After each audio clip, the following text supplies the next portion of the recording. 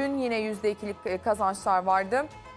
E, orada da e, dünden bu yana 36 doların üzerinde e, %1,5'un üzerinde bir hareket olduğunu görüyoruz. Ve emtialar tarafı gram altın e, gram altın 380 lira seviyesinde. Hafta başında e, 307 380 liranın altını test etti ama orada biraz daha e, sınırlı idi kalma süresi. 382 liradan dünkü hareketin etkisiyle 379'a kadar geriledi.